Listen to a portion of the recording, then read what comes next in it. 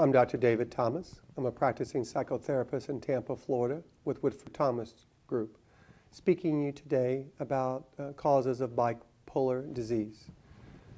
Uh, bipolar disease is more commonly known as bipolar disorder. Uh, years ago, we referred to bipolar disorder as manic depression. When we talk about the causes of bipolar disease or bipolar disorder, Oftentimes people um, believe that it's something one learns or because of trauma, people develop bipolar disorder, bipolar disease.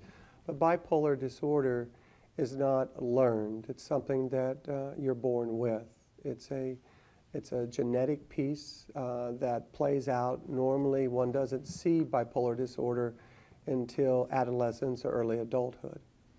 Bipolar disorder is characterized by two types of mood uh, problems. One is a depressed mood, and the other one is an elevated mood, often known as mania. So there is no cause of bipolar disorder other than simply a chemistry that's a little off that you're born with. You don't learn to be bipolar. It's not something that trauma and all that can create. Um, it's certainly something that you're born with. It usually doesn't manifest itself until early adulthood. I'm Dr. David Thomas speaking to you today about bipolar disorder, the causes of.